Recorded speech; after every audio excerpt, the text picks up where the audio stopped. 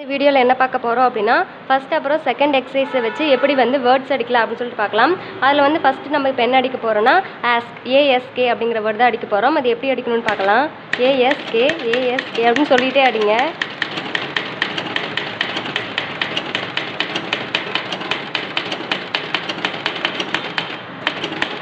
இப்படி கை தூக்காமல் சொல்லிக்கிட்டே அடிக்கணும்.